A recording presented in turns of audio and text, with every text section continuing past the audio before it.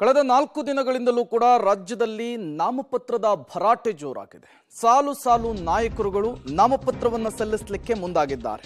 ಲೋಕಸಮರದ ಅಖಾಡದಲ್ಲಿ ಇವತ್ತು ಕೂಡ ನಾಮಪತ್ರದ ಭರಾಟೆ ಜೋರಾಗಿತ್ತು. ನಾಮಿನೇಷನ್ ವೇಳೆ ಆಸ್ತಿಯ ವಿವರವನ್ನ ಘೋಷಿಸಿದ್ದಾರೆ ಅಭ್ಯರ್ಥಿಗಳು.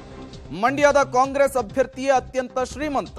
ಇಲ್ಲಿಯವರೆಗೂ ಘೋಷಣೆ ಮಾಡಿಕೊಂಡಿರುವಂತಹ ಆಸ್ತಿಯ ವಿವರದ ಪೈಕಿ ಮೈಸೂರು ಮಹಾರಾಜರ ಬಳಿ ಇರೋದು ಕೇವಲ ಐದು ಕೋಟಿ ರೂಪಾಯಿ ಆಸ್ತಿ ಮಾತ್ರ.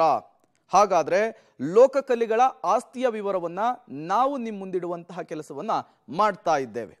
ಯಾವುದೇ ಅಭ್ಯರ್ಥಿ ಸ್ಪರ್ಧೆ ಮಾಡಿದಂತಹ ಸಂದರ್ಭದಲ್ಲಿ ತನ್ನ ಸ್ವವಿವರವನ್ನ ಘೋಷಣೆ ಮಾಡಬೇಕಾಗುತ್ತೆ. ತನ್ನ ವಿದ್ಯಾರ್ಹತೆ ಆಗಿರಬಹುದು, ಜೊತೆಗೆ ಆಸ್ತಿಯ ವಿವರ ವಿವರ ಆಗಿರಬಹುದು, ಎಲ್ಲವನ್ನು ಕೂಡ ಘೋಷಣೆ ಮಾಡಿಕೊಳ್ಬೇಕಾಗುತ್ತೆ. ಹಾಗಾದ್ರೆ ಲೋಕಸಮರದ ಅಖಾಡದಲ್ಲಿ ಈ ಬಾರಿ ಲೋಕಕಲಿಗಳ ಆಸ್ತಿಯ ವಿವರವನ್ನು ನೀವು ಗಮನಿಸ್ತಾ ಇದ್ದೀರಿ.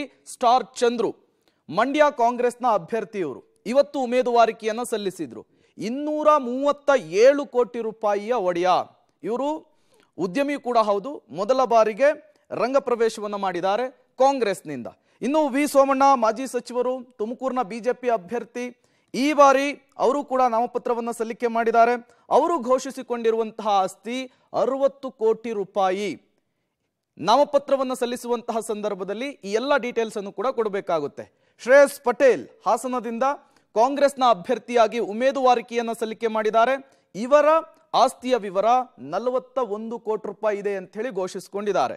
ಇವರು ಮಾಜಿ ಸಚಿವ ಎಚ್ ಡಿ ರೇವಣ್ಣ ವಿರುದ್ಧ ಸ್ಪರ್ಧೆ ಮಾಡಿದ್ರು ಹೊಳೆನರಸೀಪುರದಿಂದ ಪಿ ಸಿ ಮೋಹನ್ ಬೆಂಗಳೂರು ಕೇಂದ್ರದ ಬಿಜೆಪಿ ಅಭ್ಯರ್ಥಿ ನಾಲ್ಕನೇ ಬಾರಿ ಗೆಲುವಿನ ನಿರೀಕ್ಷೆಯಲ್ಲಿದ್ದಾರೆ. ಅವರು ಕೂಡ ಉಮೇದುವಾರಿಕೆಯನ್ನು ಸಲ್ಲಿಕೆ ಮಾಡಿದ್ದಾರೆ. ಅವರ ಆಸ್ತಿಯ ವಿವರವನ್ನು ಕೂಡ ನೀವು ಗಮನಿಸ್ತಾ ಇದ್ದೀರಿ. ಹದಿನೇರು, ಹದಿನಾರು ಪಾಯಿಂಟ್ ಐದು ಕೋಟಿ ರೂಪಾಯಿ ಆಸ್ತಿಯನ್ನು ಘೋಷಣೆ ಮಾಡಿಕೊಂಡಿದ್ದಾರೆ. ಮತ್ತೊಂದು ತೀವ್ರ ಕುತೂಹಲ ಮತ್ತು ಜಿದ್ದಾಜಿದ್ದಿನ ಕಣವಾಗಿ ಮಾರ್ಪಾಡಾಗಿರುವಂತಹದ್ದು ಮೈಸೂರು ಕೊಡಗು ಲೋಕಸಭಾ ಕ್ಷೇತ್ರ. ಬಿಜೆಪಿಯ ಅಭ್ಯರ್ಥಿಯಾಗಿ ಹೊಸಮುಖ ಯದುವೀರ್ ಅವರಿಗೆ ಈ ಬಾರಿ ಅವಕಾಶವನ್ನು ಕಲ್ಪಿಸಿಕೊಡಲಾಗಿದೆ.